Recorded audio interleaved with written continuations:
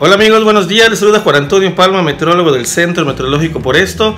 Y pues conforme van pasando los días, van a venir las lluvias. Eh, ayer se vieron algunas lluvias aisladas en la parte oriental de, Yucatán, en, en, la parte de Quintana Roo, como se puede ver en la imagen de satélite, condiciones muy aisladas. Todavía dominio anticiclónico, pero fíjense bien.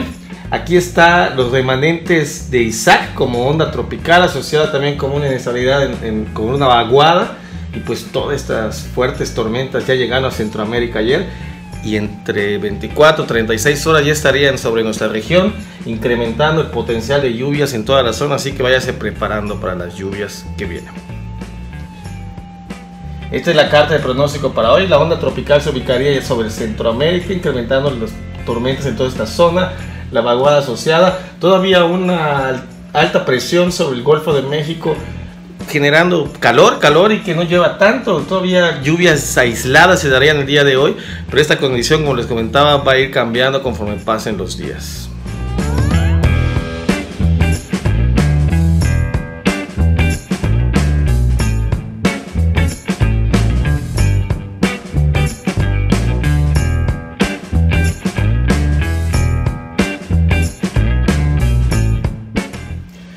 El pronóstico de lluvia acumulada para hoy. Como se puede ver, tormentas dispersas, tal vez sí sean más fuertes y generalizadas en Quintana Roo conforme avanza este sistema.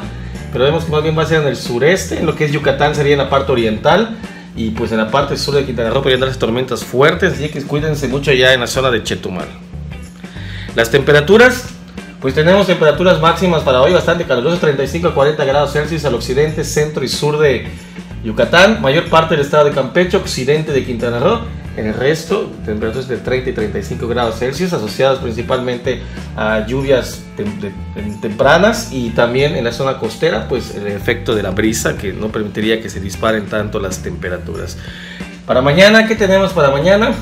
Eh, pues ya tendríamos la onda tropical sobre la península, incrementando las tormentas, ya generalizándolas más, serían fuertes, muy fuertes, tomen precauciones, asociado con esta vaguada en la región. Y para el jueves, pues tenemos que la onda tropical ya se ubicaría sobre el occidente de la península, sin embargo va a seguir favoreciendo tormentas eléctricas en nuestra zona y eso al parecer se va a extender hasta el fin de semana, aunque posiblemente el fin de semana bajen un poquito, pero ya desde mañana o desde el día de hoy va a ir un paulatino incremento en el potencial de lluvias que como les digo podrían ser hasta muy fuertes en algunas zonas, así que cuídense de los rayos, de la actividad eléctrica, los aparatos electrodomésticos y de estar al aire libre. Les deseo un excelente día.